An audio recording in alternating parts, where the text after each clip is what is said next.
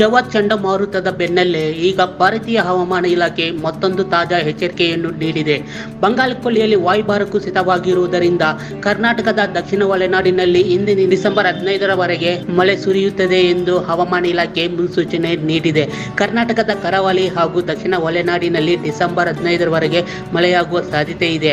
ದಕ್ಷಿಣ ಕನ್ನಡ, ಉತ್ತರ ಕನ್ನಡ, ಉಡುಪಿ, ಬೆಳಗಾವಿ, ಧಾರವಾಡ, ಗದಗ, ಕಾವೇರಿ, ಚಾಮರಾಜನಗರ, ಕೊಡಗು, ಮಂಡ್ಯ, ಮೈಸೂರು, ರಾಮನಗರ ಜಿಲ್ಲೆಗಳಲ್ಲಿ ಮಳೆಯಾಗಬಹುದು ಎಂದು ಹವಾಮಾನ ಇಲಾಖೆ ಮಾಹಿತಿ ನೀಡಿದೆ. ಇಂದು ಕರಾವಳಿ ಜಿಲ್ಲೆಗಳು ಉತ್ತರ ಒಳನಾಡಿನಲ್ಲಿ ಸಾಧಾರಣ ಮಳೆ ಆಗುವ ಸಾಧ್ಯತೆ ಇದ್ದು, ಒಣ ಹವೆ ಮುಂದುವರಿಯಲಿದೆ ಎಂದು ಹವಾಮಾನ ಇಲಾಖೆ ಮುನ್ಸೂಚನೆ ನೀಡಿದೆ. ಬಳ್ಳಾರಿ, ಚಾಮರಾಜನಗರ, ಚಿಕ್ಕಮಗಳೂರು, ಹಾಸನ, ರಾಮನಗರ, ಕೊಡಗು, ಶಿವಮೊಗ್ಗ, ಮೈಸೂರು, ಮಂಡ್ಯ ತುಮಕೂರು ಜಿಲ್ಲೆಗಳಲ್ಲಿ ಇಂದಿನಿಂದ ನಾಲ್ಕು ದಿನ ಮಳೆಯಾಗುವ ನಿರೀಕ್ಷೆ ಇದೆ. ಕರ್ನಾಟಕದ ಬಹುತೇಕ ಕಡೆ ಇಂದು ಮೋಡ ಕವಿದ ವಾತಾವರಣವಿರಲಿದೆ.